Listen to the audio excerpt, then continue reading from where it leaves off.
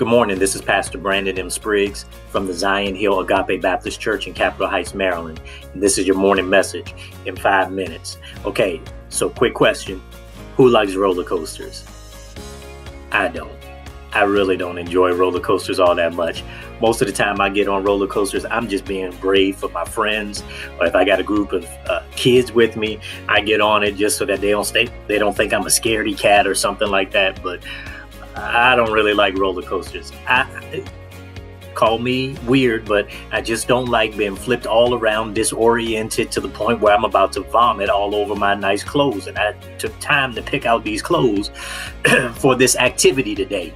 Uh, I really don't care for roller coasters all that much. I think mainly because I feel so out of control.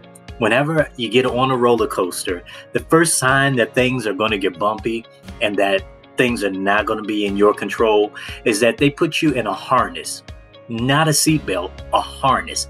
They strap you down like you're about to get cleared for takeoff, like you're about to take a rocket to the moon. That's kind of concerning to me. I think that's the first sign that things are just going to get bumpy. And roller coasters always start off slow.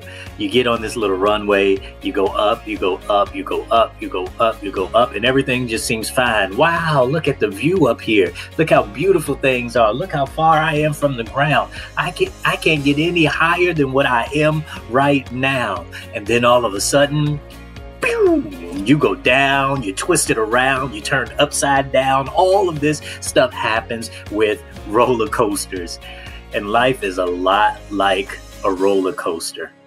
Here's the encouraging thing about being on this roller coaster of life, especially for those of us who are Christians. Yeah, it may get bumpy. Yeah, it may rattle you. It may shake you. It may turn you upside down. It may uh, make you disoriented so that you don't know whether you're coming or you're going. But really, even though you're not in control, you realize that someone is in control and that someone is God. God is in control. He is the track and He's the pulley system and He's the controller of everything on this roller coaster ride called life. And if you trust Him, you'll get through it. Now, you won't get through it without some scares and you won't get through it without some twists and some turns, but you will get through it because, like every roller coaster, it starts at a point and it has an end destination in mind.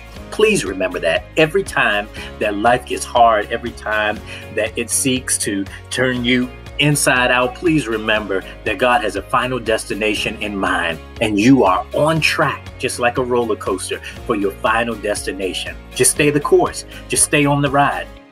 Don't get off. Please don't get off, but keep going and you're going to make it to where you're supposed to be.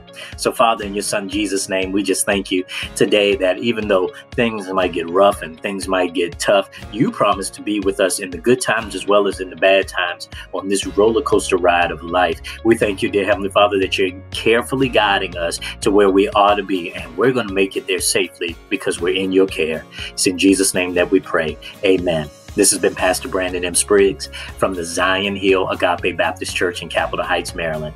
This is your morning message in five minutes. Till next time, keep advancing the kingdom.